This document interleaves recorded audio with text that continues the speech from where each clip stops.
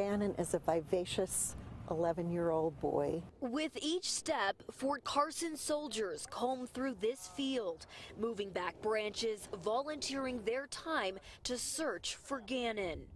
To try and look for a little boy that they don't know.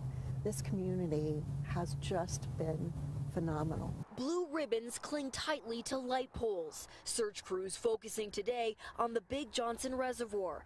The El Paso County Sheriff's Office is submerging a remotely operated sonar vehicle into areas of water. All of us have Gannon in the forefront of our minds, and we want to bring him home to his family. Fox 31 asking the Sheriff's Office about a key piece of evidence the surveillance video from a neighbor. Can you comment on the surveillance video from the neighbor? And that's a part of the investigation. So the Sheriff's Office will not be commenting on that video. While the El Paso County Sheriff's Office does not consider this a criminal investigation, close friend of the Stauch family, Cynthia Coffman, is not ruling out foul play. Perhaps at some point later, uh, the justice system will be involved in addressing anyone who might have participated in his disappearance. But Coffman served a single term as Attorney General of Colorado and said her background and training leads her to believe there could be more to come from this investigation.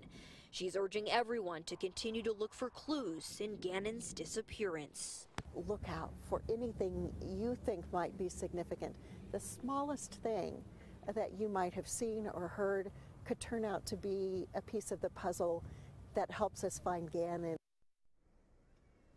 And the El Paso County Sheriff's Office said this incoming weather won't stop their search efforts. We're live in El Paso County. Kristin Haubrich, Fox 31. Kristen.